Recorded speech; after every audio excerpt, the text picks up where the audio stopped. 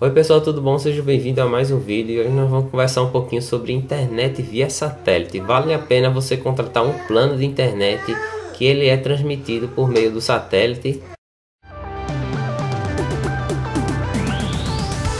Bom pessoal, um plano de internet via satélite é um plano que funciona da seguinte forma.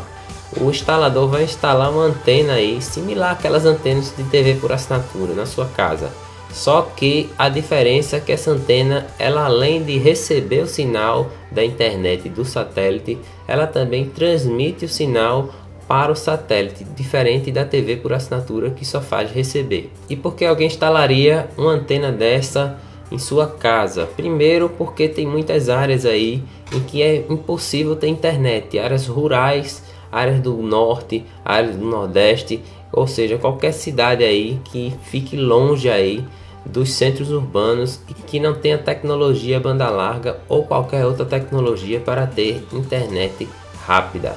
Quais as vantagens de ter uma internet desse tipo? A principal vantagem, logicamente, é você ter internet num lugar remoto que não existe internet numa área rural. Mas também tem outras vantagens como a estabilidade da internet. Não há possibilidade da internet cair quando dá alguma trovejada, alguma chuva e os cabos que transmitem internet via banda larga para sua casa eles também não danificam, já que é tudo via satélite.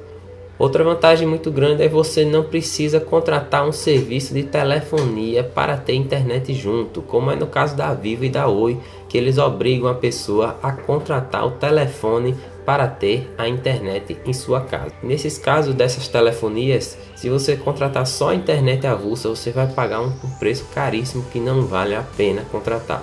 Mas também esse tipo de internet tem desvantagens, como você vai ver agora.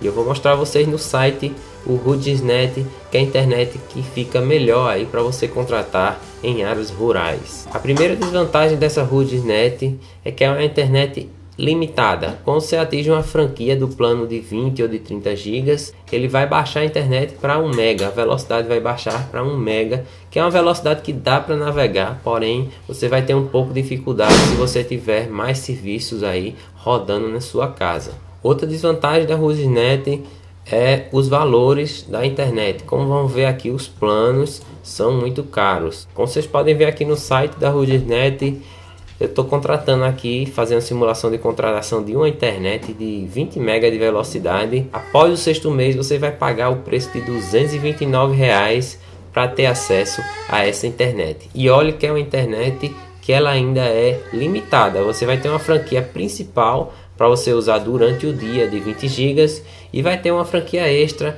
para você utilizar durante a madrugada de 40 GB. Quando atingir a franquia, a sua internet será reduzida para 1 mega de velocidade.